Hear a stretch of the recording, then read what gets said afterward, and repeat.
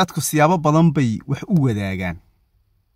Matalan dadku waxaa jira waxa loo yaqaano dan wadaag dan dadka ay dan midayso. Waxaa jira deegaan wadaag. Dee ilaa sidaa u soco ilaa dal wadaag dadaal wadaag. Yani dad yani halgan ku wada jira. Oo wax dadaal ugu jiro oo dadaalkaas uu midaynayo. Marka dadku inay dan wadaag inay dan wadaag noqdaan dan wadaagtu waxa weeyaan waa waxyaabaha ugu qaalisan inay dadku dan isku fahmaan. Danta waxa ku dhisan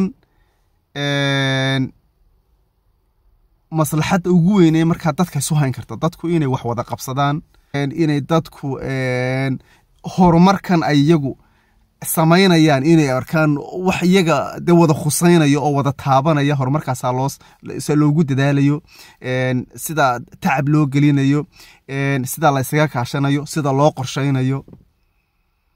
Marka waa waa waxyaa waa geediga waxay ka mid tahay runtii meesha fiicanay tahay in loo guuro inay dadku noqdaan dan wadaag dan hadhow toolo de inaad tiraahdo reer hebel oo dega reer naga mid oo degan qabiilka in laistirsadaa waa wa xeer saraa weeye hase yeeshee qabiilkaaga oo dego kun mayl waxa kaa xiga midaan isku qabiil ahayn oo aad deegaan tihiin deegaanku idinka dhexeeyo wax badan idinka dhexeeyaan marka kaasay tahay inaad dan wadaag noqotaan oo ay xaqiiqadan idinka dhaxaysa aan indhaha aanad ka qarsano reer hebelka halkaa dega reer hebelka yaas tirso waa dadkaagii waa ku xidhnow xidhiidhi hase yeeshee dan markay noqoto dan nolosha qofkaad wada noosh ciddaad wada noosh yihiin ayay noloshiina isku dhisan tahay eeto inaad nolosha wada ilaashataan si hees raba idin salaamaya waa cabdishukuur maxamed sad ku dhaafaya